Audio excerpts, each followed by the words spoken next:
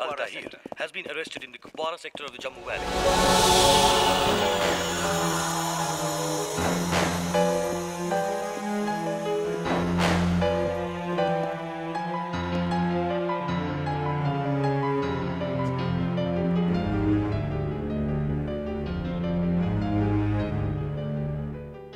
अपनी मौत को ज़िंदा रख के तूने बहुत बड़ी गलती कर दी कर्नल मजबूरी है जहीर खान हमारे देश में कुत्तों को मारने की परमिशन नहीं है!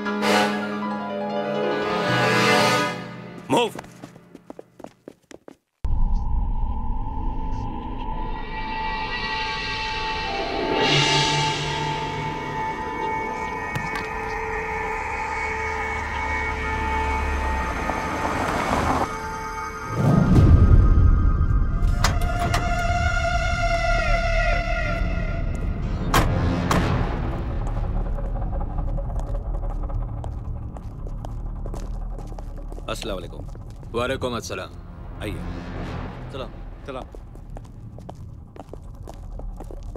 क्या हुक्म है हमारे लिए? सारी तैयारियाँ पूरी हो चुकी हैं। इन लोगों का हिंदुस्तान जाने का वक्त आ गया है।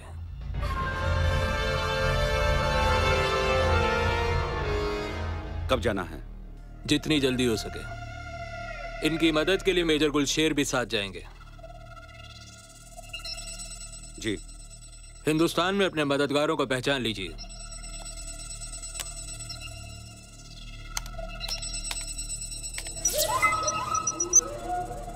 ये है फरीद, कार गैरेज का मालिक। इसका काम है आप लोगों को हथियार मुहैया कराना। ये संथानम, पेशे से प्रोफेसर है। कि आपको हर वो चीज़ दिला सकता है। जिसकी आपको ज़रूरत होगी। और ये ये है हमारा सबसे अहम आदमी। ये आप लोगों से कांटेक्ट नहीं करेगा। और ना ही आप लोग इनसे मिल पाएँगे। क्योंकि ये हिंदुस्तानी फौज का बहुत बड़ा ऑफिसर है। लेकिन हाँ, खुदा ना खास्ता, हमारे प्लान में कोई गड़बड़ी हो जाती है। तो ये आदमी हर मुमकिन आप लोगों की मदद करेगा। इस फ़ाइल में सभी डिटेल्स हैं। शुक्रिया। हिंदुस्तान में आपको क्या करना है? ये तो आप लोगों को मालूम है। उस दिन सारा भारत घुटने टेक देगा। तारीख याद है? जी हाँ। 18 जून। 18 जून। इंशाअल्लाह हमारा मिशन कामयाब होगा। इंशाल्लाह।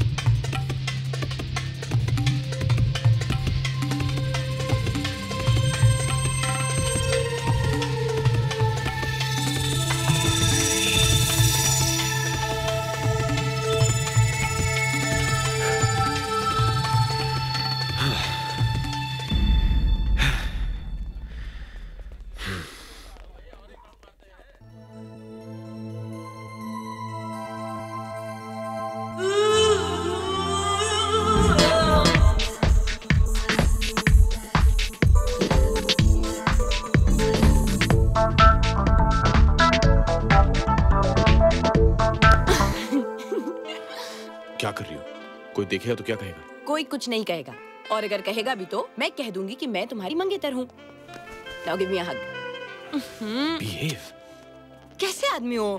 मंगेतर चार दिन बाद वापस आई है। फ़्लाइट में भागते भागते मुस्कुराते मुस्कुराते थक चुकी है। और तुम हो के अरे।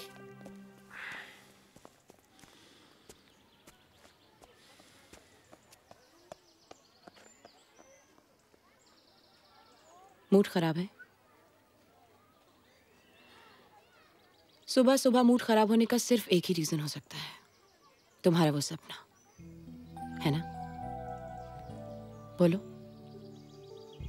जय। जो गुजर चुका है, वो गुजर चुका है। तुम उसके बारे में जितना और सोचोगे, और परेशान होगे। इट वॉज़ योर पास्ट जय। तुम्हारा अतीत। अतीत हमारे बस में नहीं होता है। ना ही भविष्य हमारे कब्जे में होता है। तो उसके बारे में सोच के क्या फ़ायदा? हुँ? सिर्फ़ एक चीज़ पर हमारा कंट्रोल होता है। वो है आज। ये पल, जो हमारा है। और जानते हो ये हमारा क्यों है?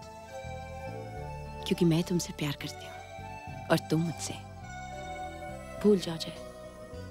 जो कुछ भी तुम्हारे साथ हुआ, उसे प्लीज़ भूल जाओ। मेरी खातिर।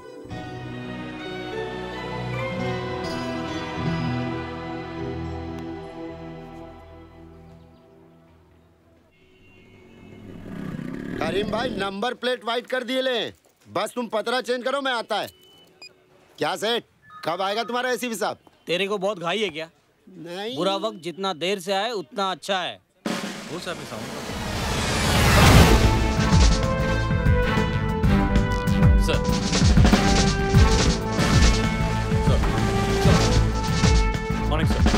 अरे देखो साहब आ गए। गुड मॉर्निंग साहब तो अपना आदमी है मैं बोला इन लोग को क्या रे? लेकिन चाय भी नहीं पूछा कोई बात नहीं। साहब लेट हो सुबह का क्या हुआ? पता करता हूँ सर बैठो। साहब साहब मेरे को क्यों बोला साहब? इंफॉर्मेशन चाहिए। इन्फॉर्मेशन बोले तो? 16 नवंबर पीकॉक बार के मालिक दासप्पा के मर्डर में जो गाड़ी यूज़ की गई थी वो तुमसे खरीदी गई थी। अरे साहब हम लोग महीने में दस बारह गाड़ी 10 तो- जनवरी माटुंगा में एक ज्वेलर को लूटा गया था। लुटेरे जिस गाड़ी में थे वो तुम्हारे गैराज की थी। वो को को को को कोइंसिडेंस साहब कोइंसिडेंस चार दिन पहले पुलिस इनकाउंटर में मशहूर गैंगस्टर शरद मारा गया। वो जिस गाड़ी में था वो भी तुम्हारे यहाँ से थी। अरे साहब हम लोग जो है साहब माल लेता हो ग्राहक को गाड़ी देता है। सर उसके बाद क्या मालूम साहब कौन ग्राहक है साहब और कौन क्या करता है यू नो साहब। मैं सिर्फ़ ये जानना चाहता हूँ फरीद। ये सारे दो नंबर के लोग सिर्फ़ तुम्हारे यहाँ क्यों आते हैं? अब साहब किसी के थोबड़े पे थोड़ी लिखा होता है एक नंबर या दो नंबर। समझ समझ रहे ना साहब? सर सुबह आया है।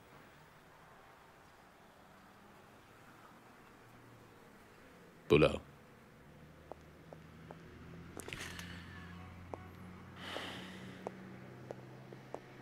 सुबह नमस्ते साहब। दो दिन से बुला रहा हूँ। कहाँ थे तुम? वो क्या धंधा है ना साहब अपना? फुर्सत ही नहीं मिलता साहब, कहाँ थे? क्या कर? करता है? बात करता है? ले जाओ इसे। चल रहे।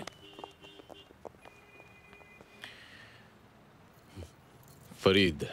जी साहब। हालात बहुत ही खराब है। जी साहब। एक बार आदमी पोटा में फंस गया। जी साहब। निकलना मुश्किल है। जी साहब। होशियार रहना। अगर कोई खबर मिले नंबर है ना? जी साहब जी साहब। हैं? जाओ। जी जी जी साहब। सर ये फरीद कुछ लंबे चक्कर में है। नज़र रखो इस पे।